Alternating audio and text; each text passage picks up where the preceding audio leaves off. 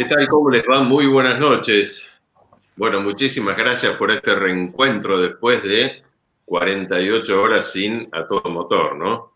Este, bueno, de, verdad creo que, que, vino bien una pausa, a mí me vino bien una pausa del fin de semana, poder dedicarme un poco a las cosas mías de todos los días, así que les agradezco a todos y me divierte muchísimo todos los que decían, ¿qué pasa, Rubén, que no me puedo conectar? Y no te podías conectar porque no estábamos haciendo nada en vivo, pero bueno, era, era simpático.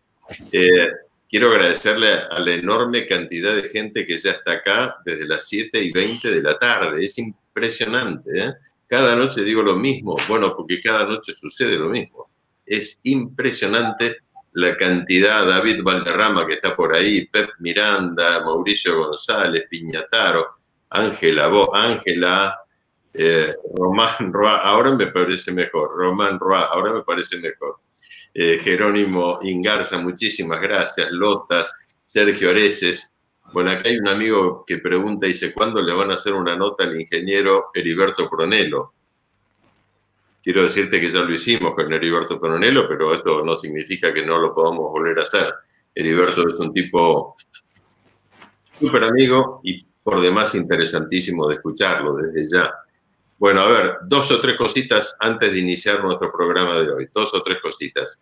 Mañana tenemos Club de Ventas. ¿Qué es el Club de Ventas? Es un espacio igual que este, va a ser un programa igual que este, donde vamos a mostrar los autos de ustedes, lo que ustedes quieren vender. Pero para poder estar en este espacio, te tenés que informar y mandarnos un mail a atm club de ventas arroba gmail, eh, arroba gmail.com. Mañana vamos a empezar ya con algo así como más de, de 20 autos. Autos, repuestos, motores, lanchas, aunque usted no, motos, aunque usted no lo cree. Mañana se van a sorprender y les va a divertir de verdad este club de ventas. Si te querés informar, mándanos un mail a atmclubdeventas.gmail. Y ahí abajo te podés anotar en el curso de manejo avanzado que hacemos próxima fecha 8 de agosto. Bueno, a ver, hoy va a estar con nosotros una vez más Luis Hora del Museo eh, del Automóvil de Buenos Aires. Hoy tenemos, para que nos cuente él, yo le pedí que no me contara nada previamente, eh, la historia de un auto que le llevó 10 años. 10 años, pero que lo viene siguiendo hace 40 más o menos. A ver si yo tengo razón. Buenas noches, Luis, ¿cómo estás? Buenas noches, este, Rubén, a vos y a, la audiencia. Y bueno, gracias por permitirme estar este, participando de este programa. ¿no? No, un placer. Déjame, que le aclare a un amigo que me dice que, eh, Norberto Ulibeto dice, Rubencito, me preocupé este fin de semana. No, está todo bien. A ver, te diría, me tiré panza arriba en el jardín, me quedé tranquilo un fin de semana. Nada más que eso, absolutamente. Gracias a Dios. Eh, Luis, yo decía recién, este auto, eh, hace mucho tiempo que estás dando vuelta con él, fue como como un sueño, como debe ser, me imagino yo, encontrar aquel que busca un auto antiguo ya es un sueño, pero si encima se llama Rolls Royce, el sueño empieza como a pegarte más fuerte, ¿no? Yo pienso que eh, para mí, en la época, pues de todo esto, esta historia comenzó hace aproximadamente entre 37 y 38 años estamos hablando, ¿no? No, no. Eh, a mí me pasó lo que vos acabas de decir. Cuando alguien viene y te dice, mira, hay un Rolls Royce que está desarmado pero en venta. Y ese fue Roberto, que era un mecánico que estaba conmigo siempre, un amigo, muy misterioso, no me quería decir dónde estaba primero, nada, hasta que un día dijimos, bueno, hoy a la tarde vamos a ir ver el Rolls. Bueno, vamos, vamos a ver.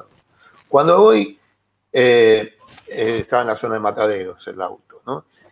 Me encuentro con una persona que hizo mucho por el automovilismo acá en la Argentina. Hoy día por es reconocido y el auto es, es uno de los autos fuera de serie que se hicieron en la Argentina, que es eh, el Antic. O sea, me refiero a Luis Gallino. Yo, en honor a la verdad, yo sabía que existía el Antic, pero no sabía quién era Luis. Hasta que después tuve la suerte de conocerlo por esto. Cuando aparezco yo a ver el Rolls, estaba al costado de la fábrica en un galpón y bueno, miro, estaba totalmente desarmado, este, era, un, gran desafío, más para mí, ¿no? Entonces Luis, le digo... Luis, perdóname, perdóname un instante, porque yo, yo quiero ir en esto que vos acabas de decir. Entraste a la fábrica, estaba en un costado, tirado, y yo le quiero mostrar a la gente cuál fue tu visión. O sea, llegaste y viste esto que yo le voy a mostrar ahora. Esto vio. Yo digo, ves esto y salís corriendo, sea lo que sea, puede ser un rastrojero o un Rolls Royce. Mirá lo que es esto. No sé cómo te animaste. Correcto. En, realidad, esta foto es este, anterior a Luis Gallino. Cuando lo tenía Luis Gallino, este, se ve que lo quiso eh, restaurar o demás, después habrá tenido otros, otros este, eh, otras cosas y lo dejó, pero bueno, era más o menos esto. Oíme, de, verdad que sos guapo en serio, porque, a ver, este, meterte con esto, decir yo me llevo esto, después contame cómo hiciste, pero digo, aunque te lo regalen, ya es difícil de decir ¿no? Y por eso, este, vos decís la marca Rolls Royce es una cosa esplendorosa de SOP, pero cuando ves esto decís, por más que sea Rolls Royce. Y era la única manera de llegar. ¿Cómo voy a llegar yo en ese año, en esa época, casi 40 años? Acá ya lo teníamos nosotros, el auto. Este, así llegó al taller. Y estuvo mucho tiempo porque no me animaba a ponerle la mano encima al auto. y bueno, cuando comienza la etapa, hay una anécdota que quiero dejar, eh, ahí está. Yo cuando lo tenía así en estas condiciones, llamé a un amigo que yo aprendí mucho, una gran persona, que estaba con los autos clásicos. No voy a dar el nombre porque es una persona que ya falleció y no tiene tanta relevancia, pero una persona de autos clásicos, le digo, vení, mirá lo que conseguí. Entonces cuando viene y lo ve, me mira y me dice, mira, pibe, esto no es para vos. Vos tenés que dedicarte, seguir con haciendo las cupecitas, los forté, los foratos, esas cosas que vos haces, pero esto no es para vos. Ves como si me hubiera clavado un cuchillo en el pecho, ¿no? Porque yo siempre me tuve eh, fe, pero eh, no, no me lo tomé a mal, porque sé que me lo dijo eh, lo que tal vez hasta yo podía haber pensado lo mismo. Pero bueno, este, eh, déjame que yo te cuente, porque participó mucha gente con este tema. Con Luis Gallino tuvimos un, viste, a primera, la primera vez que yo lo veo, lo vi como una persona a la cual admiré, y en ese momento él estaba con los Antic y también estaba el proyecto, todavía no había empezado a hacer la camioneta Durango, no sé si vos te acordás de la camioneta. Fue la primera 4x4 que hubo acá de fabricación nacional. La cuestión que cuando llegó el momento de la negociación, que yo también quiero que la gente sepa cómo fue, eh, le dije, mira, Luis, yo dinero no tengo. Hasta ahora restauré unos cuantos autitos y tengo, te puedo ofrecer unos autos. Venía a verlo. No quería saber nada, hasta que un día vino. Vino y digo, mira, este, este Forte, que un Forte 28, te doy este Forte, te doy este Forá. Me dice, no, pero Luis, yo esto no. La cuestión que después tenía también un Chrysler 25 y luego de convencerlo, porque cuando yo le dije eso, tampoco quería, este, no, no, no, le interesa, hasta que le hablé tanto, traté de seducirlo de, la manera de, ver, él vio el entusiasmo que yo tenía por el Rolls Royce y fue así que yo siempre que lo veo, lo saludo, le doy un abrazo porque gracias a él me traje todos esos fierros ahí, este, pero era, era un Rolls Royce para mí, ¿no? Así que bueno, ahí comenzó la historia. La primera etapa de la historia era, después que ya me habían clavado el cuchillo, era restaurar el chasis. yo digo, la carrocería, esto lo que había de carrocería no servía nada, porque la madera estaba podrida, tenía faltantes, eh, y aparte era horrible, ¿no? Como, eh, yo prefería decir, armo el chasis, el chasis era una belleza, nosotros optamos como ante la eh, poca experiencia que teníamos, empezamos a hacer una restauración, como diría, este, paso a paso, agarrábamos rueda trasera izquierda, toda la zona rueda trasera izquierda, todo lo que había ahí, se desarmaba, se limpiaba, se reparaba todo y no se desarmaba nada más hasta que no se volviera a armar ese sector. Cuando terminaba de colocar la campana y anda todo bien, viste, recién íbamos a la otra rueda para decir el auto, ¿no? Y así íbamos haciendo todo con prolijidad y respeto por cada una de las cosas. Mira, acá hay una cosa que es interesante con esa foto. Eh, cuando vos empezás a descubrir un Rolls Royce, empezás a ver que los tipos, de verdad que querían hacer el mejor auto del mundo. Vos sabés que ahí se ve el múltiple de admisión, pero fíjate que no está el carburador. ¿Ves que está el múltiple de admisión? El carburador no está. ¿Cómo puede ser? Los tipos son, hicieron, el carburador está del otro lado con una brida, un carburador ascendente, y tiene, o sea, está colocado contra el bloque.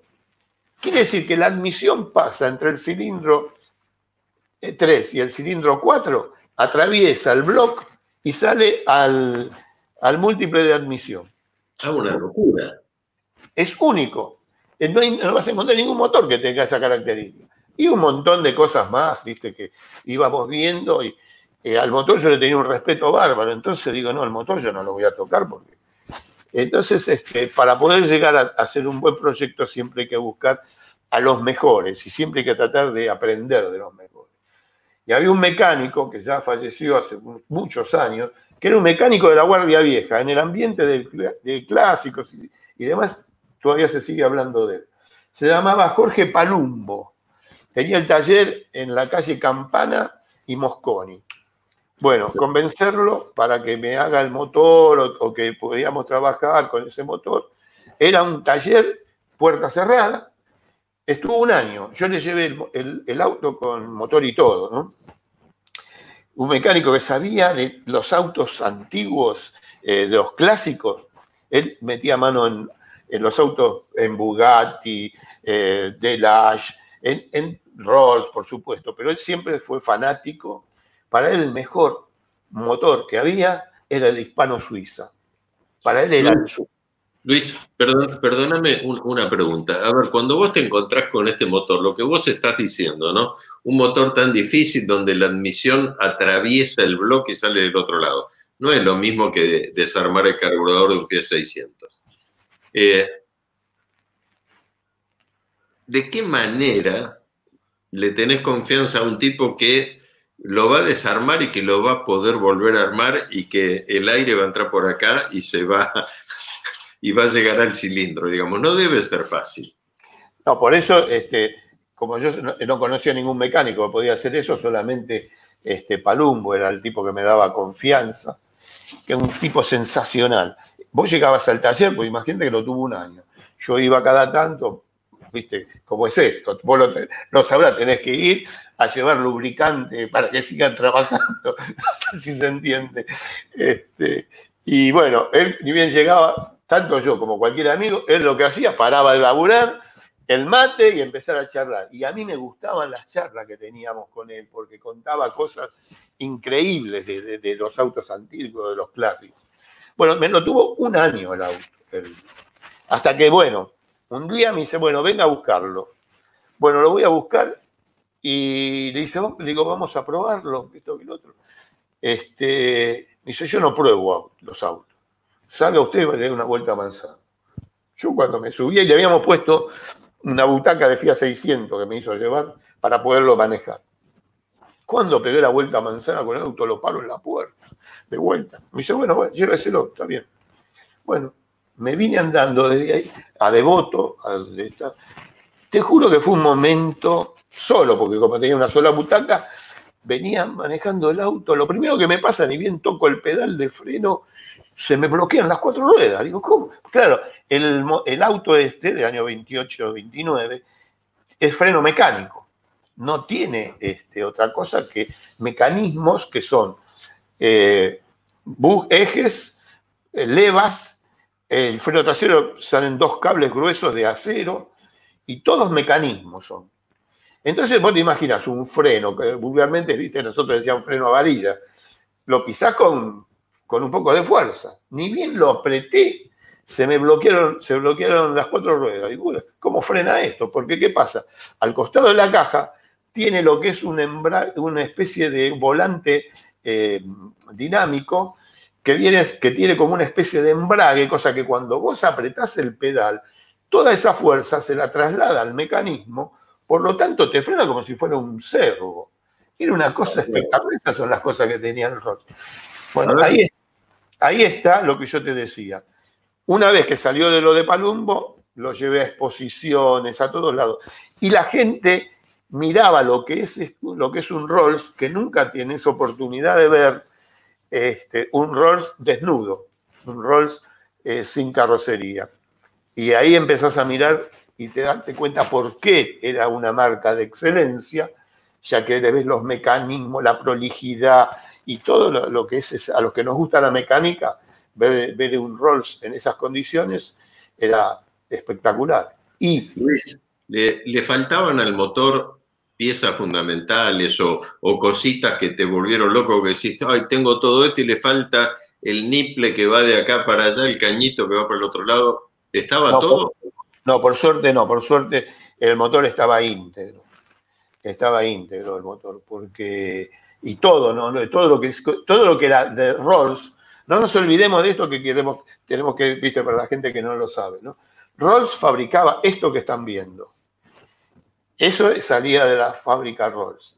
Después, cada comprador eh, que compraba el auto antes que sea fabricado, eh, iba de acuerdo al bolsillo que tenía y a lo que quería, iba al carrocero, que el, eh, el carrocero era el que elegía este, el comprador, pero tenía que estar aprobado por Rolls, porque después que salían del carrocero, los autos tenían que ir de vuelta a la planta de Rolls para que ellos le den el ok, si no, no le, no le daban la, garantía final, digamos. No nos olvidemos que en aquella época no solo los carroceros estaban en Inglaterra, en el Reino Unido, este, sino que había carroceros en todas partes de Europa, especialmente Francia, Italia, este, eran carroceros. Bueno, desde la foto que vimos a esta pasó mucho tiempo. Yo nunca, este, yo siempre seguía con la idea de no hacer carrocería, porque digo, si hago una carrocería en un Rolls y me equivoco, es un sacrilegio, lo estropeo el auto. Entonces, no, digo, no, lo voy a seguir manteniendo así, que tenía un éxito bárbaro cuando yo, yo salía por la calle con el auto, ¿eh? en los semáforos la gente paraba para mirarlo. ¿eh? Yo andaba en la butaca del Fiat 600 con este auto por todo Buenos Aires. Y bueno, este, y había un señor coleccionista también, Julio Schweiger, que me venía diciendo, Luis, yo tengo la carrocería que le tenés que hacer. O sea, tiene fotos. Vos a este auto le tenés que hacer una carrocería, yo te voy a traer una revista donde está. Y siempre lo venía amenazando siempre hasta que un día apareció con esa revista. Y yo lo vi y lo empecé a mirar y me, me gustó. Y digo, sí, yo me voy a animar a hacer esto. Tenía cuatro fotos, de costado, de frente, de atrás y otra más del interior. Perdóname, Luis. Eh, esta carrocería que vos estabas a punto de hacer, que ahí estamos viendo todos estos, eh, estos alambres que le están dando forma, ¿esta carrocería es la que le correspondería a este auto, por ejemplo, exactamente? o, parecida? No, porque pasa lo siguiente, nuestro auto es un 20. Nosotros tenemos un Rolls 20 para los entendidos, yo quiero explicar un poquitito qué quiere decir. Es el chiquito de, Rolls. Este auto, los Rolls este, importantes, digamos, son el Phantom 1, el Phantom 2 y, bueno, por supuesto también el Phantom 3, pero este era el más chico. Los Rolls siempre tenían un chofer a cargo. Las familias que tenían Rolls Royce tenían un chofer. Entonces, ¿qué pasa? Rolls hace un auto para que pueda ser manejado por el dueño. Y es esto, el 20. el 20 lo podía manejar el dueño. Ahora, ¿qué sucede? La, eh, la, revista que me trajeron a mí, con las fotos que tenía la carrocería esa, estaba hecho sobre un eh, Phantom 2, mucho más grande que este. Mucho más grande que este. Así que lo único que me, me servía era la silueta, el estilo de auto. Sí, entender qué auto te iba a quedar en un tamaño más chico. Exactamente, sin modificar la parte mecánica. O sea, vos no podés tocar nada de lo que es original de Rolls. Obviamente, obviamente. avanzamos un montón porque esta es la carrocería. Primero se hizo en alambre, como vos mostraste, porque hay que ver que se hizo todo en, alambre, y luego pasamos a la parte madera. Digamos que yo también, así como lo había elegido a Palumbo para eso, eh, el, chapista, eh, el carrocero, era Ricardo Zanetti. quiero mencionarlo porque Ricardo eh, nos debe estar viendo y es una persona que eh, se animó cuando yo fui con el proyecto, él trabajaba conmigo ya en, el taller haciendo otro tipo de autos y un día yo los reuní y les dije, vamos a hacer un Rolls Royce. Y, el carpintero que ya falleció, este, Chicho se llamaba, era también, fíjate la robustez que tiene la estructura. La estructura de alambre después se transforma en la estructura de madera y toda fíjate los detalles del macheteado que tienen. No es que está clavado eso, eso está todo, la madera trabado, le dicen, no me acuerdo cómo le dicen los en galeto, no sé, le dicen, eh, tiene un nombre que es eh, trabar la madera, ¿no? Y aparte después este, eh, el tipo de madera. Eso es todo roble eslavonia. O sea, el, carpintero era, era, un exquisito, me hacía comprar la madera más cara que había para poder tener esto, ¿no? Entonces primero se hace toda la estructura en madera y luego comienza la etapa del trabajo de Zanetti, que es, eh, Zanetti viene de segunda generación de, carroceros. El papá de, de, Zanetti, que por supuesto yo no lo conocí, fue el que le enseñó el, oficio a él, y déjame hablar también porque también junto con, con Ricardo. No, estoy diciendo ni buenas noches. junto con Ricardo, el que aprende el oficio de chapista con el papá de Ricardo es Quique Zapala, que luego fue el chapista que le hacía los autos a Oscar Galvez y que fue que me conocía a mí de pibe. Así como, mira como todo era este, relacionado. La cuestión que, bueno, acá pasando. Perdóname, ahora, ahora acá viendo esto te quiero hacer una pregunta. Vos me decís que la carrocería en realidad era de un modelo más grande, del Phantom. Eh, ¿Y de qué manera se, se hizo la parte proporcional para que te quede en este chasis que vos tenías un auto coherente proporcionalmente con el otro.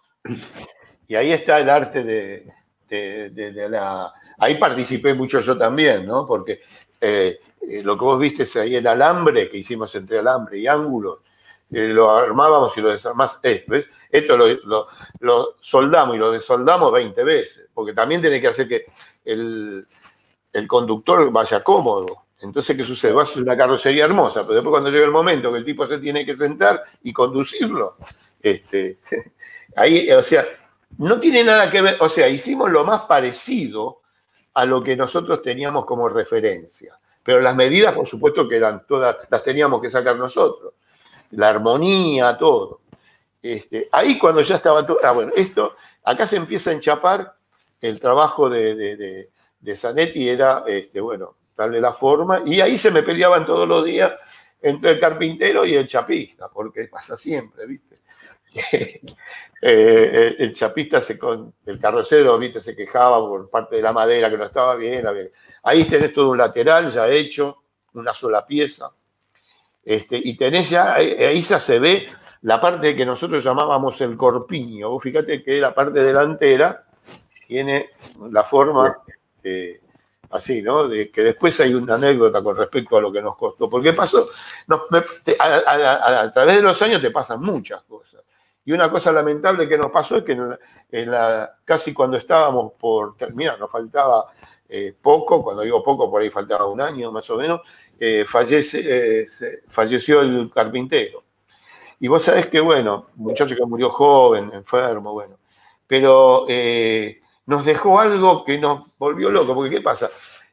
el arte de los Rolls Royce es la, el lujo de la, eh, la parte de, carpintería que tiene otro nombre, este, ebanistería. Y esto tiene una, una característica, solamente los entendidos se dan cuenta, que la veta de la madera va desde donde empieza la puerta, pasa por, la, por arriba de la puerta, va a través de lo que yo llamo, denomino el corpiño y va hasta el otro lado. Y vos tenés que tener la misma madera que era fresno para que las vetas continúen, que eh, eh, los entendidos se dan cuenta que la veta de la madera continúa, no es que es un pedazo de madera ahí cortó. A continuación de, lo que sería el torpedo, esto ya es, esto es carrocería. En alguna otra foto ya va a aparecer lo que yo te digo. Este, tiene toda la veta de la madera que va desde eh, el torpedo hacia, hacia los dos laterales con, la misma veta. Yo te digo que para poder doblar la madera, que es el trabajo que nos dejo, pues yo le decía, Chillo, ¿cuándo vas a hacer la parte esa? No, más adelante, todavía no, tengo otras cosas. La cuestión que después no tuvimos que ver cómo hacíamos para doblar madera no es lo mismo que doblar eh, hierro. No, no, no, no, Me, imagino el laburo que lleva esto. ¿Sabes sabe lo que hicimos? Bueno, acá se ve una parte. Nosotros agarramos dos, este, agarramos un tambor de 200 litros, lo cortamos en forma transversal, lo soldamos y hicimos una batea más o menos generosa. Le pusimos unas hornallas abajo y empezamos a calentar el agua. Y los, la madera como esa que se ve ahí, debemos haber roto por lo menos cuatro o cinco. Eh, cada vez que se nos rompía esto teníamos que cambiar, eh, comprar más, madera porque se nos rompía la beta. Entonces no nos servía para el resto. Claro. Para, para, hacer esto tuvimos que sacrificar varios árboles, porque era comprar madera, probar, porque vos estabas hasta acá y de repente se apretabas un poquito más el sargento y ya se astillaba y a tirar todo y a empezar de vuelta. Fíjate que la parte, eh, se ve en una parte que larga humo todavía la madera y se ve la parte mojada. porque qué pasa? Hay un molde que lo hicimos en la pacho. Primero hicimos el macho y la hembra y no funcionó. Porque cada vez que lo prensábamos se nos rompía. Y, este, y después empezamos a hacerlo de esa manera. Estas son parte de carrocería de la estructura todavía. Esta es, digamos, es la etapa anterior. Pero hacer el doblarla, poder doblar la madera nos costó, creo que fue lo más difícil que nos costó con este auto. Ahí sí, ahí sí que tenés que, de verdad que tenés que tener un, carpintero que en serio sepa eh, trabajar esto. Esto no lo hace cualquiera, definitivamente. era un muchacho que le gustaba lo que hacía, ¿viste? Eso sí, me salía caro porque tenía que, todos los días venía que tenía que comprar alguna herramienta. Y la madera elegía de lo mejor y se iba y se pasaba horas y horas buscando la madera hasta que la encontraba lo que quería, pero mirá la, robustez que tiene la estructura, ¿no? Y bueno, pero le fuimos dando la forma. Acá, este, mirá, mirá cuántos tipos hay, con los tensores, todos doblando la madera. La madera este, eran los tablones de 10x10, tablas de 10x10 que la calentábamos semanas, ¿eh? la teníamos en el agua, porque normalmente la madera se dobla mediante un autoclave. O sea, se coloca dentro de un autoclave a 200 grados, cuando la saca la dobla como si fuera jabón. Pero nosotros no teníamos autoclave y, menos, y no podíamos ir a hacer este trabajo a otro lado. Probamos de mil maneras, ahí está el pintor, el, el, carrocero, el chapista y alguien más que está ayudando. Todos buscándole la vuelta para ir doblando la madera. Qué bárbaro, qué bárbaro, Luis ahí, se aprecia lo que yo te digo. ¿Ves lo que nosotros decíamos, el corpiño? El corpiño. lo que teníamos que hacer era madera para que va del otro lado. Este, sí, sí, sí, es, clarísima la explicación, no te preocupes. Eh, y, aparte, digo. Mira, un detalle. Eh, el guardabarro todavía no se había empezado a hacer, pero ahí se aprecia cómo se hizo el guardabarro. El guardabarro tiene todo como una aleta arriba, en el medio, y de vez se fue haciendo con todos pedazos de chapa que previamente en la frega se le va dando forma. O sea, porque el dibujo era hermoso, pero hay que hacerlo después, ¿no? Así que hay que saber soldar muy bien el aluminio y está hecho todo en paños, pequeños paños. Luis, Eh, esto se hace, algunas partes de esto se hacen con esa rueda inglesa, ¿no? Que va. Claro, la rueda inglesa, que acá, acá los chapitacas decían la frega, pero era realmente la rueda inglesa. Hay que saberla trabajar. Yo hoy día no veo mucha gente que la sepa usar. Es, impresionante. Yo me acuerdo eh, verlo a, a Len Baudena, como siempre lo miraba desde la vereda este, y laburaban con eso y le daban un formato a la chapa que parecía plastilina, ¿viste? Realmente el que lo sabe usar. Este, Alan, es, un carrocero, bueno, viene de segunda generación, creo. tiene todos los secretos que le dejó el padre, aparte los trabajos hechos por Alan Baudena. Bueno, yo, tengo un gran amigo, Juan Ardizone, que este, me ha hecho un par de autos a mí, de hecho me está haciendo un auto ahora este, y, usa la, rueda inglesa. Claro, lo ves trabajar y lo ves trabajar y, no lo podés creer. Y acá, esto es otra cosa, esto es apasionante, mira. Esto solamente a mí se me ocurre. El tema del auto que veía, que nosotros vimos eh, en la revista, tenía unos lugares altos y acá no había nada. Eh, entonces lo que vos estás viendo es, nosotros construimos con hierro doble T una especie de prensa. Y el hombre que vos ves que tenía los brazos, ve que le metimos un caño a un tornillo de tipo balancín.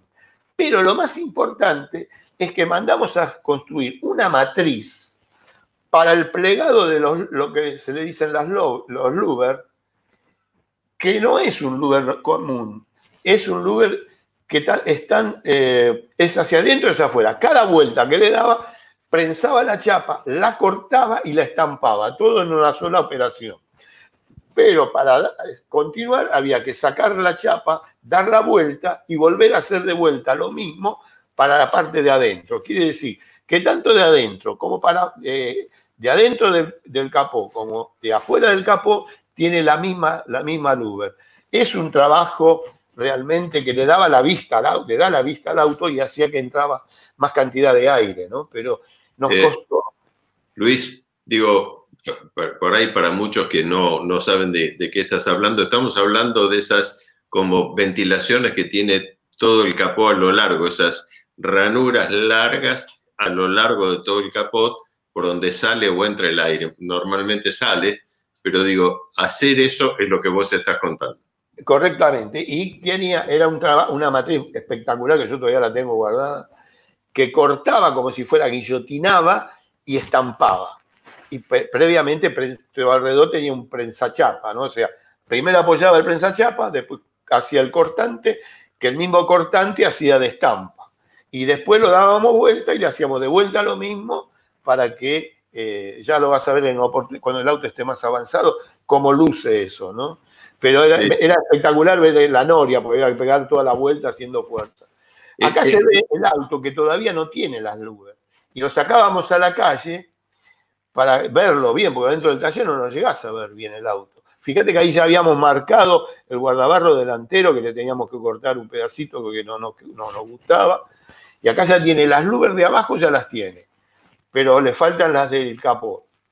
Eh, no solo el capó, sino después avanzamos hacia parte de la estructura del, del torpedo, el parallamas. Sí, qué linda, qué linda la línea del auto, es lindo de verdad el auto. Este, este, es este Zanetti. Este es eh, Ricardo Zanetti, el carrocero que yo te hablo. Y sí, el auto lo sacábamos afuera y paraban los coches para mirarlo. Paraba la gente a ver el auto. Nosotros nos cruzábamos a la vereda de enfrente para verlo. Ahí está la calle. Es tan cierto lo que acabas de decir que el auto cuando lo ves en la calle, cuando lo ves de lejos, es absolutamente distinto que lo que uno está mirando. Yo me acuerdo una vez fuimos a, Jordania con la gente de Peugeot, mirá de dónde, de dónde te estoy contando, y, probamos la, la Coupé Peugeot 406, mm. Y el que era diseñador en aquel momento me dijo, si te gusta ahora, te pido por favor mañana en la ruta para y mirarla de lejos. Era otro auto. Es así, tal cual. Era otro auto. Ahí está. acá está la, la, mira. Acá se aprecia, fíjate que la chapa tiene el brillo de chapa nueva, no está manoseada, y tiene la cantidad del, del Uber, todos del mismo tamaño, y no, no se aprecia bien, pero la apertura, la entrada, eh, así como se ve de acá, del lado de adentro es exactamente igual. No son las comunes que se ven del lado solo, no, sé cómo explicarlo. Este, le da más rigidez también al, al capó, ¿no? Ahí está en chapa pura. ¿Y, las de abajo también? Las de abajo, no, las de abajo son simples. Las de abajo son simples. Las de abajo son un poco, ¿sabes para qué? Cuando lo hicimos el auto dijimos que era demasiado alto porque el chasis, la estructura nos daba así. Entonces están un poco como vista. Todo a lo largo tiene eso. Y, además vas a ver en una, porque ves que es muy alto el Fíjate el tamaño de la puerta y al ser un auto tan imponente, el Es que la línea del radiador te lleva ahí, ¿no? Claro. el, radiador es, el radiador es el clásico radiador de alpaca. Y acá déjame decir algo, ves que tiene las dos R's en rojo. Quiero desmistificar eso que dicen que primero, eh, viste que todo el mundo te dice, no, cuando tenían las dos R's de Rolls Royce en rojo era porque estaban los dos vivos. Y después vino una negra y una roja. Y después fueron negras. Bueno, yo, de acuerdo a lo que hablé con los entendidos, eso eh, pasó de rojo a negro por una cuestión de que era tan sofisticado que el rojo ese a un auto de alta gama no les quedaba bien. Entonces Rolls Royce empezó a usar las letras en negro. Eso es un tema que es una una curiosidad, porque mucha gente está confundida con este tema. Muy lindo el auto, che, realmente muy lindo. ¿Y esto, que, ves acá es un, el, detalle nuestro. Para poder subir para el acompañante es un estribo, que luego se hizo todo con alpaca y demás. Pero ¿qué sucede? Se comanda del lado de adentro. O sea, el chofer, cuando va a subir un acompañante, tiene una palanca, hicimos todo un mecanismo para ahí, todo con levas también nosotros, copiándonos de todo lo, que tiene la estructura, lo que es el rol, ¿no? Y de adentro vos, eh, esta se levanta la tapa y no te das cuenta que hay una, que es, una, que es un estribo, digamos. Es un trabajo también nuestro. Un, detalle maravilloso, lindísimo. No, aparte vos, de repente eh, lo abrís y la gente se sorprende, ¿no? Porque sale de algo que no, no está a la vista. Bueno, acá en honor, acá tenemos que hacer un honor a Gisela. Mirá los años que hace Giselita. Eh, bueno, Giselita venía al, taller de chiquita, ¿no? Ahí debe tener ocho años, una cosa así. Mira, es otra vez que ya lo habían pasado tiempo. Fíjate que la foto anterior no tenía los lubes, el auto y ya está, ya está más terminado. Y Gisela, que venía siempre al taller, ahí le, sacamos una foto. Se la sacó Zanetti esta foto. Sí. Ella venía siempre, siempre, los fierros le gustaron siempre de chica. Eh, Luis, ilustrame un cachito. ¿Qué largo tiene entre ejes? ¿Qué, largo tiene el total? en este momento no te puedo dar el dato, pero te das cuenta que es un auto para una carrocería donde iba eh, amplia. Y hacer un auto tipo casi deportivo sobre esa, esta distancia entre ejes, eh, yo no en este momento no lo recuerdo, te confío y que quede armonioso, porque ¿qué pasa? Es para cuatro pasajeros este auto. Entonces, ¿qué sucede? Se le hizo, que lo hizo después otra persona que, es, que era el mejor tapicero que yo conocí, que se llamaba Julio Mir, que después a hablar un poco de él, ¿no? Hizo el asiento, porque hubo que fabricarlo el asiento, que se podía correr y por esa puertita, corriendo el asiento, podía subir a través del estribo que estamos hablando, podían subir los pasajeros de atrás, ¿no? bueno, acá está casi el auto listo, con los faroles colocados, los faroles... Las ópticas estas, los faroles estos, eh, ¿los tenías o los tuviste que hacer? No, no, son originales del auto. Son los faroles originales del rol cuando yo lo compré. Que los tenía, sí, sí, me lo entregó. Luis me lo entregó aparte. Y, y los dos faritos que tienen abajo, es otra cosa que hicimos nosotros, es un mecanismo que tiene para que cuando vos doblás eh, los faros, ves que abajo hay una varilla. Sí. Cuando doblás, este, está con la dirección, entonces los faros doblan para salir de la huella y mirar eh, a dónde vas a ingresar, ¿no? Es otro detalle. Fíjate, cubre piedras, también el trabajo que tiene hecho todo en Chapa, eso toda mano de obra de, de Ricardo. ¿no? Eh, ah, los faros hicimos en madera primero. ¿Ves los faros que tiene arriba de los guardabarros? Los hicimos en madera hasta que nos conformó.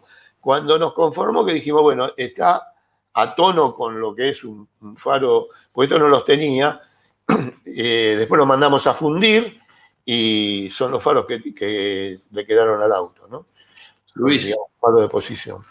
Luis, para un carrocero, un tipo que trabaja tan artesanalmente como este, eh, no es fácil que de un lado te quede igual que del otro lado, porque de un lado vas para allá y del otro lado es igual, pero es al revés. ¿Cómo lo hacen eso? Bueno, este es un artista. Eso es lo primero que miramos. Pues nosotros tenemos que tener en cuenta lo siguiente. Esto que están viendo no es una restauración. Es una restauración hasta que terminamos el chasis. Después esto es una fabricación de una carrocería. Con esto que quiero decir, este auto, luego te voy a explicar por qué, es un recarrozado. A la Argentina vino con otra carrocería. Y en Inglaterra ya saben, después te voy a explicar por qué, ya saben que el auto que vino a la Argentina en el año 1929, ahora tiene una carrocería eh, hecha en Argentina, bueno, y la hicimos nosotros. Acá está lo que yo te conté, mira, ves el block y mira el carburador pegado al block. Sí, es de loco. Esto es ¿Eh? loco. No lo había visto nunca Nunca nadie me lo había contado. El pegado eh, eh, al, bloque. Y de ahí pasa al otro lado. Después, bueno, tiene todo el sistema de distribuidor, todo, todo con levas. El avance, porque esto debe manejar el avance desde, eh, desde el volante. Tenés el avance, el cebador y tenés un enriquecimiento mayor o menor de nasta con una palanquita muy chiquita, vos le vas regulando. Este, bueno, acá ya pegamos un salto. Luego de la carrocería, desarmamos íntegramente el auto. Te puedo contestar lo que me dijiste. Eh, eh, yo te garantizo que este guardabarro, vos lo ponías con el otro, no le encontrabas eso de que tiene de un lado. Eh, nosotros tratamos mucho que eso no nos suceda. el resto era muy sencillo, porque era todo recto, no te podías equivocar ahí. Pero el auto nosotros sabíamos que lo iban a mirar por todos lados porque no te perdonan nada los que tienen. Así que nos fijamos hasta la, la, plantilla que servía para el guardabarro derecho, vos la dabas vuelta, o sea, la cuaderna, digamos, y tenía que ser perfecta del lado izquierdo. Correcto. Bueno, acá está en zona de pintura, se pintó totalmente desarmado. Carrocería por un lado, guardabarro por otro, capó por otro. Se hizo todo en forma individual. Y bueno, acá voy a decir algo que es, curioso. Vos sabés que yo, ahí estamos pintando en, la fábrica. El color es hermoso, el color me fascinó. Es un color hermoso. Pero lo digo yo, ¿no? Pero te cuento por qué. Resulta que nosotros nos dedicamos a pintar piezas para automotor también en esa época. Y nos habían hecho de Fiat un pedido para pintar espejos. Y de repente descontinúan el color y me quedaron como 30 litros de pintura de ese color. Así que esa fue la elección del color. Muchos vienen y te dicen, qué, color hermoso este, ¿cómo Y si lo elegimos para el rol, tenés que tener un color que sea eh, destacable, ¿no? Así que esa es la, verdadera historia. Mira, qué linda forma va tomando y que, eh, cómo empieza a aparecer el auto, ¿no? Claro, claro, sí, sí, sí. Ah, fíjate cómo habíamos preparado todo para pintarlo. Bueno, acá está Julio Mir. Este es el señor que yo te digo que fue el mejor tapicero que yo conocí. Era, aparte como persona, un hombre, e, él me contaba que de, pibito el padre y el tío este, tenían tapicería, él aprendió el oficio de tapicería. Le iban con un, forcito 40 a la mañana para tapizar Entraba a la mañana, el que era chiquito lo metían adentro del auto, empezaba a desarmar todo. Y sé que a la, noche eh, venía el dueño del auto y se llevaba el auto tapizado. Entre el tío, el padre y un tapicero que se las conocía todas. ¿Aprendías o aprendías? Sí. Bueno, acá, acá apareció. Ahí apareció, ahí está en el museo. no, no, no, viste, no te puedo mandar tantas fotos, si no me vas a matar. Eh, hay un trabajo bárbaro hecho de los arcos de capota, hasta que te queden así.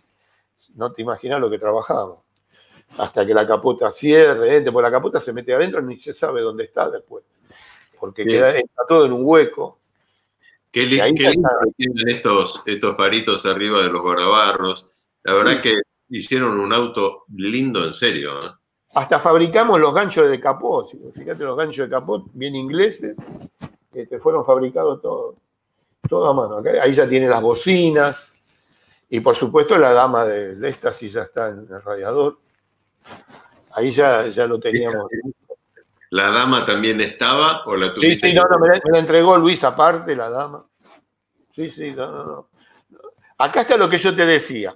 Fíjate la madera, ¿De dónde empieza? Que empieza casi donde está el respaldo de la butaca, pega toda la vuelta, entra, pasa por arriba y sigue hasta el otro lado. Y vos mirás con una lupa y vas a ver las vetas de la madera que se inunen, que continúan desde donde termina la puerta y, y todo. Eso es un detalle de calidad. Hacer eso nos costó este, una cantidad de horas de trabajo, porque ese listón que vos veías antes, que tenía 10 por 10, termina siendo esta, esta, esta maderita. No sé si soy claro. Claro, sí, sí, no, está perfecto, me, lo explicaste con mucha claridad. Alguna vez, este, cuando fuimos a visitar a, este, ¿cómo se llama? Eh, ay, el que hace los eh, Pagani.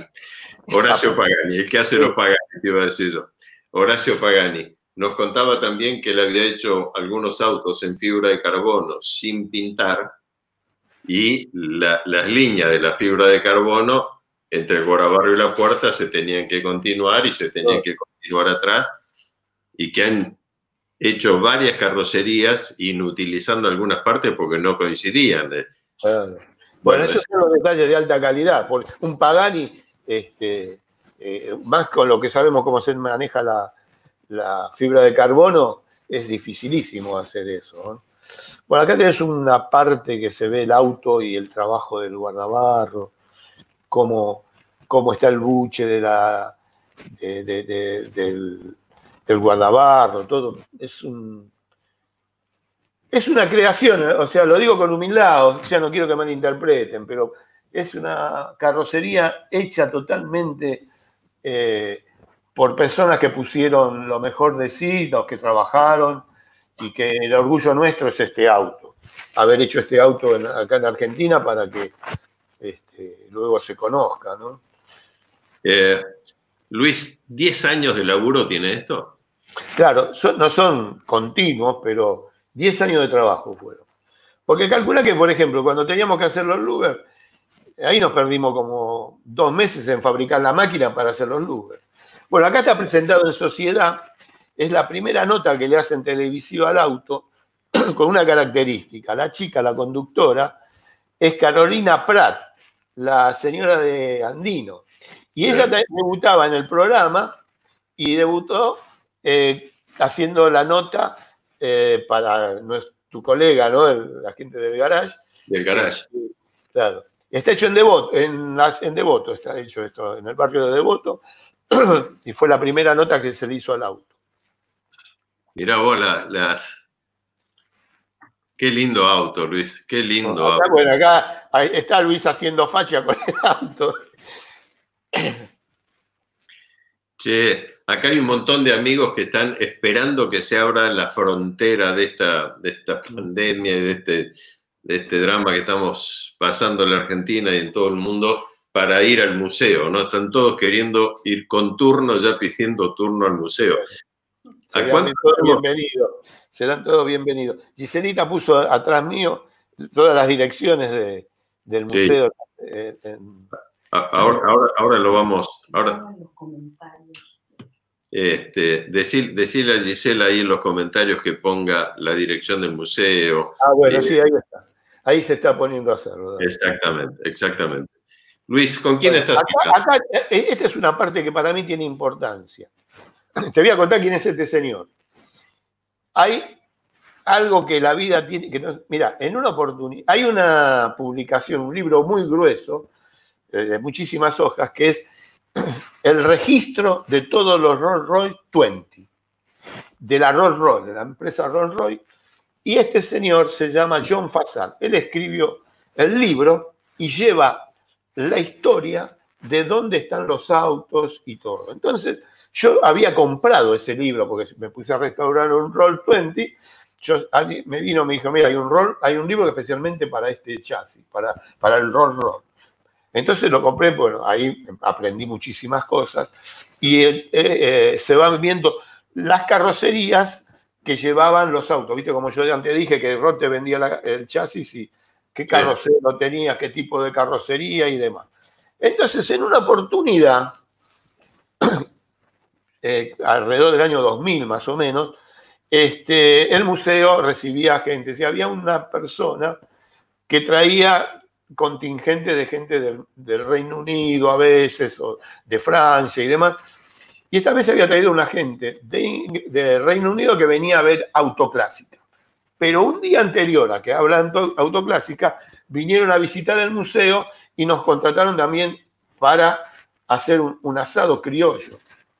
Que los ingleses, te digo que se, comieron hasta los huesos, porque eh, tuvo un éxito sensacional el asado ese. Este, entonces yo le digo, mira, vos que tenés contacto, que vos sabés que hay una publicación de un libro que de John Fassal, y yo le quiero hacer llegar, vos no sabés, en aquella época no había internet, no había nada, te estoy hablando de hace muchísimos años. Digo, vos podés hacerle llegar unas fotos a John Fassal en, Inglaterra, porque él viajaba mucho. Y el tipo me dijo algo que me corrió un frío. Yo había sacado el rol si lo tenía en, el, digamos, en el patio trasero del museo. Y me agarra y me dice, escúchame Luis, John Fassal es ese señor que le está sacando foto a tu Rolls. ¿Me entendés lo que te estoy diciendo? Yo no lo podía creer. Entonces voy y él me presenta. Entonces eh, le cuento esta anécdota. Mire, yo le digo, me dice, ¿tiene el libro? Y le digo, sí. Entonces le llevo el libro y ahí la gran satisfacción. El tipo pone una nota que lo tenés que tener en una fotito, donde me, felicita por la, me felicita por el trabajo que hicimos. Y después, ahí está, este es el libro de los Roll Roll 20. Este, acá es un libro bastante voluminoso, ¿no? Y tiene toda, toda, toda la historia de todos los rolls, qué carrocería tenían. Es un registro totalmente completo, ya que da el tipo de chasis, la carrocería, eh, a qué país fue y cómo se llamaba la persona que lo compró. Así que eh, más completo. Y ahí donde después encuentro que el Rolls que vino, que, al cual estamos haciendo eh, referencia, fue comprado en la Argentina por Madame Gainza, bueno, no me acuerdo, Gainza Paz. Y, bueno, acá estamos en Autoclásica y bueno, él está haciendo, me está saludando y está dando a entender que está bien hecho el trabajo, dar impresión, por lo menos es lo que yo quiero que la gente entienda. bueno, acá está lo que yo te digo. Dentro del registro del Rolls, si lo puedes ampliar, ahí ves que dice que vino a la Argentina, y acá está, Madame Gainza de Sánchez y... De Sánchez Y ves que dice Argentina. Así que tiene partida de nacimiento, todos los roles tenían una especie de partida de nacimiento con esto. Tiene partida de nacimiento, está muy bueno, está muy bueno. Eh, y acá está el libro eh, con la congratulation, bueno, no sé, no se ve muy bien, pero eh, donde él lo firma. Y dijo que en la próxima edición ya iba a poner que el auto este fue recarrozado en Argentina. Iba a poner la foto. Claro, cuando vos decís recarrozado, porque estaba viendo los comentarios que este, la otra vez también con Cristian Berchi y con Lau Iacona hablábamos justamente de este tema, que los autos no salían carrozados, salían como vos dijiste, el chasis alrededor del motor y la carrocería la podía hacer yo, la podías hacer vos, o la podía hacer un fenómeno, un tipo, un tipo extraordinario. Pero las carrocerías no eran ni Rolls Royce, ni Ferrari, ni Alfa Romeo. No, Por, eso no hay dos, dos iguales hasta eh, antes de la guerra, digamos, ¿no? Después sí se empezaron a fabricar en, serie, pero dos Rolls, mira, por más que el carrocero hiciera, tenía un estilo de, carrocería que podía hacer eh, muchos autos, cada comprador tenía un gusto especial para el tapizado, para el tipo de, eh, o, le hacía hacer alguna mejora al auto, así que eh, dos iguales no, no había. Bueno, eh, me, pareció bueno aclararlo porque el otro día cuando hablábamos, te insisto, con Lau Yacona y con Cristian Berchi también, a quien conoces por supuesto mucho, digo, a mí me sorprendió eso. En definitiva, vos no te comprabas una Ferrari, vos comprabas la mecánica de una Exactamente. Y te hacías el auto que a vos te parecía y le poníamos el escudito de Ferrari. Cuando yo digo recarrozado es porque a la Argentina vino con una carrocería Baker, eh, eh, que era una cabrio. Y yo lamentablemente de eso no, lo que vi eran restos que no, no, no, no, no, no, no, no se podía restaurar. Claro. Y bueno, bueno así, así lució, ahí ya con, con Gisela un poquito más grande. Claro, viste los años que pasaron. Bueno, acá está en el rally de las princesas, dice la con el auto. Porque también tiene su. Eh, así está en el museo. En este momento, cuando la gente lo venga a visitar, lo va a ver así. Acá está en el museo. En este momento. Espectacular. A tanto lo sacamos, ¿eh? lo sacamos a, dar una vuelta, pero ahí en este momento está en el museo. Y ha con una figura. Luis, este, realmente un trabajo extraordinario. Lo mires por donde lo mires, desde la madera, eh, darle el formato ese con los alambres. Yo lo he visto hacer, por eso puedo, eh, no sé, entender todo el laburo que tiene todo esto, ¿no? Este, darle formato, imaginarlo, mirarlo y hacerlo en proporciones. No es fácil. Aparte, eh, con humildad lo digo, ¿no? a mí lo que me importa es cuando la gente reconoce el esfuerzo, que no lo mira desde el punto de vista de valores, porque el auto se hizo para el museo y este, va a seguir estando ahí mientras se pueda. Eh, yo lo que valoro es cuando la gente se te acerca y reconoce el esfuerzo, porque si me preguntas cuánto me costó este auto, me costó trabajo, trabajo, trabajo y más trabajo. Y esto tiene que ser una especie de, yo no me quiero poner, pero eh, el trabajo es lo que eh, hace a los hombres este, tener dignidad, ¿no? Absolutamente. Yo no me quiero poner a, filosofar, pero me refiero que te puede gustar o no te puede gustar. Vas a encontrar tipos que le van a encontrar defectos, que por supuesto que los tiene. Pero la satisfacción de haber hecho un trabajo en Rolls Royce, donde, con un Rolls Royce, que la gente lo, los que entienden me lo han este, ponderado a tal punto que ganó un premio en autoclásica. Este, y ahí vos sabés que no, no, se regalan los premios, ¿no? Para subir a la rampa esa tenés que tener eh, mucho reconocimiento. Así que la satisfacción del deber cumplido, de haber hecho eso que una vez dijo Jackie X, salven los autos clásicos. Es un mensaje a todos. No sé si vos lo sabías eso. Este, bueno, él dijo una, vez, dijo eso. Salven los autos clásicos. Y bueno, pienso que el deber cumplido, ¿no? De haber salvado un auto y que hoy está funcionando, está vivo.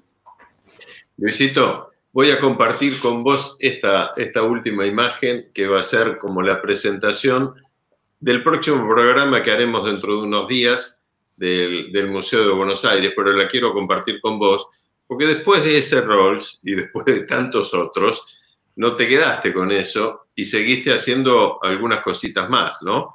Por ejemplo, por ejemplo este.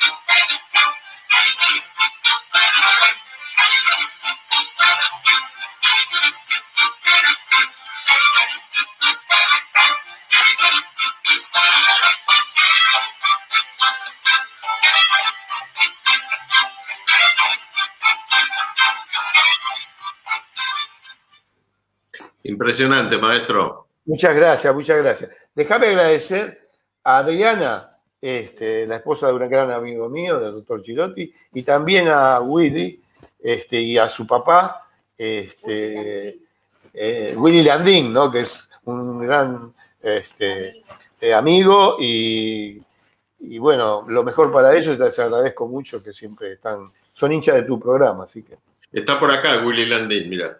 Sí, vos sabés quién es Willy Landín, ¿no? Es el escenógrafo en el Teatro Colón y en todo en Europa. Es un, uno de los, de los de las personas que trabaja, que tiene mucho amor por lo que hace y que lo ha dejado muy bien a los argentinos en toda Europa. Yo en Francia fui, lo nombré a él, en un, me mostraron en un teatro como el del Teatro Colón, me atendieron como si fuera, qué sé yo, es un, un personaje y ayuda mucho en el museo, Willy.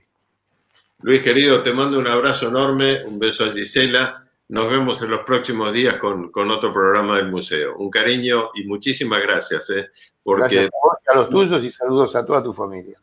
Muchísimas gracias. No solamente sos un apasionado, sino que lo sabes transmitir, que, que tampoco es tan sencillo. Un abrazo grande, Luis. Gracias, gracias a usted. Bueno, creo que hemos vivido una noche espectacular en el, en el Museo de Buenos Aires con con este relato de, uno de los autos del museo, tal vez el, no sé si el más importante o no, cada uno tendrá su gusto particular por eso. Quiero contarles que mañana debuta una nueva sección de A Todo Motor que se llama Club de Ventas, donde vos podés publicar tu auto, lo que querés vender, querés vender una moto, querés vender un motor, querés vender, eh, no sé, una embarcación, lo que tenga que ver con A Todo Motor, ¿no? Cosas que tengan que ver con A Todo Motor y que a algunos les sea de utilidad. A ver, nos, te tenés que comunicar con nosotros, nosotros te mandamos la información, la ficha de inscripción, comunícate con nosotros, club ATM, ATM, club de ventas, arroba gmail.com. Comunícate con nosotros, te mandamos la información, llenas la ficha y a partir de ahí vas a poder publicar. Y si te querés eh, anotar para el curso de manejo avanzado del 8 de agosto, mandá ahí a tv a gmail.com, mandá ahí eh, un mail y nosotros te mandamos la información. No te pierdas el curso del 8 de agosto. Mañana, Club de Ventas.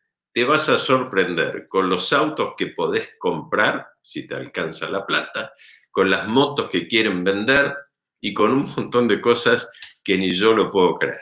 Mañana, 8 de la noche, si Dios quiere, Club de Ventas en la Todo Motor. Un cariño, un millón de gracias.